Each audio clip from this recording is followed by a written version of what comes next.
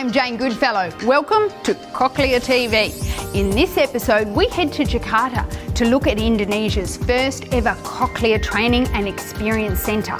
Next stop, Malaysia, where a young implant recipient, Olivia, and her mother share their experiences with us. And you'll hear more from me as I share some top tips to get you comfortable using the phone. So sit back and enjoy the show.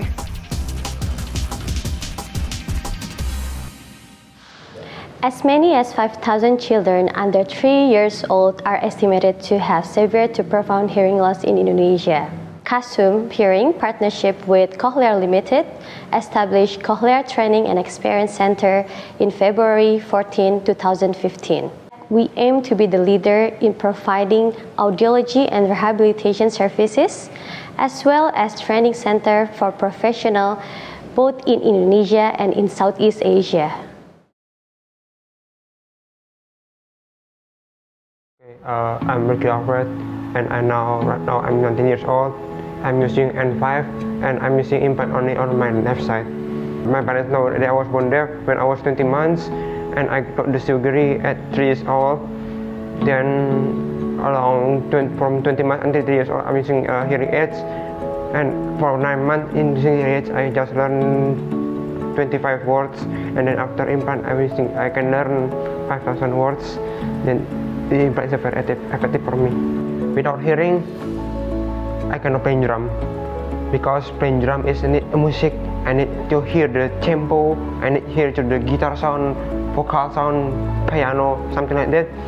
So if I cannot hear, I cannot play drum. Yeah? Imagine if I am not hearing, I just sitting in here. I just saw the, my family conversation. I just sitting in here. I'm thinking why I cannot join the competition because I cannot hearing. So with Cochlear with uh, I can hear, it's a very very happy, make me happy to join the competition and also with my friends.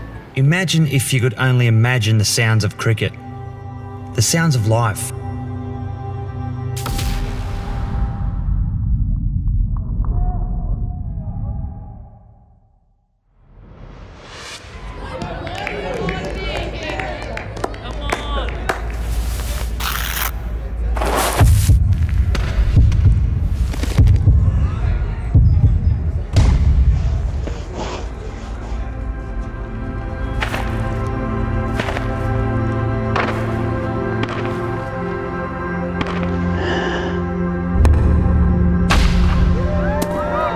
If you, your friends, or your family have trouble hearing, take our free online hearing assessment. Hear the sounds of cricket, hear the sounds of life.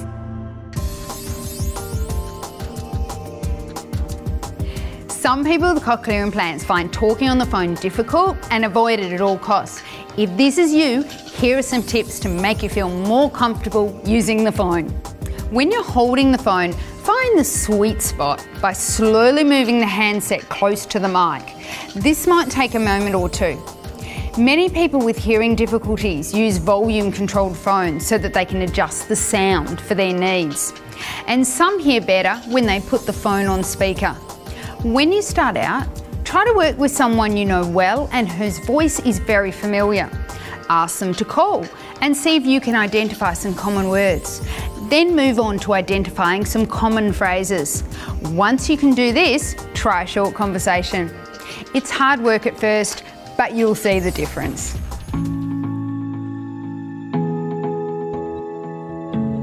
Olivia was first diagnosed with hearing loss when she was one year and eight months old. That time we was very depressed and we didn't know what to do until an audiologist informed us about the cochlear implant that can help deaf to hear. There's a chance for her to hear, so why don't we give her a try? So we just sent her uh, to see a team of specialists to, to see whether she's the right candidate for her cochlear implant and then thank God she was.